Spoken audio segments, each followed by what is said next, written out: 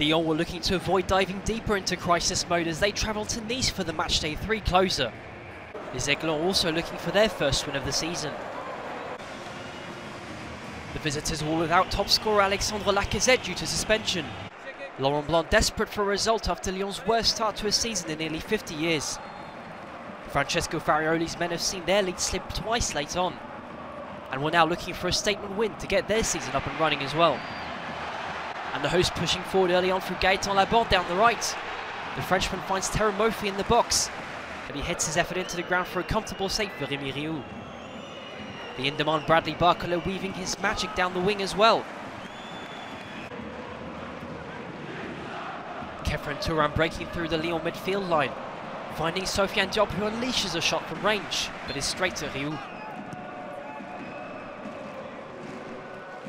Rayan Cherki once again leading the way for Lyon as they build down the right, sending Amin Sarr clean through, getting a shot away from a tight angle, but it's saved by Marcin Bulka.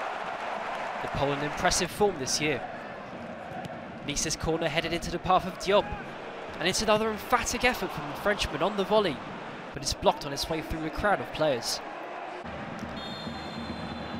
No way through for either team in the first half. A stark contrast to last season's fixture on the final day of the campaign that saw four goals go in before the break.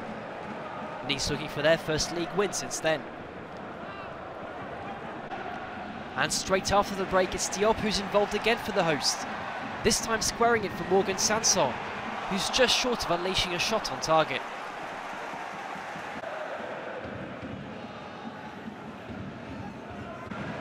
Nice close to striking again just seconds later.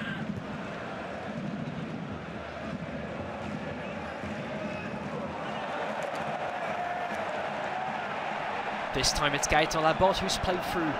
Down the right and he breezes past Diomande. But his effort is straight into the arms of Riou. Lyon's defence standing strong. And Nice resorting to long-range efforts.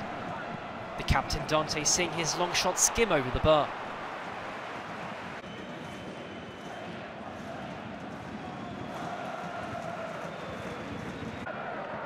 But there was late drama though, as one final Nice attack sees Badredine Bouanani venture into the box, getting his shot away and it's blocked by Tagliafico.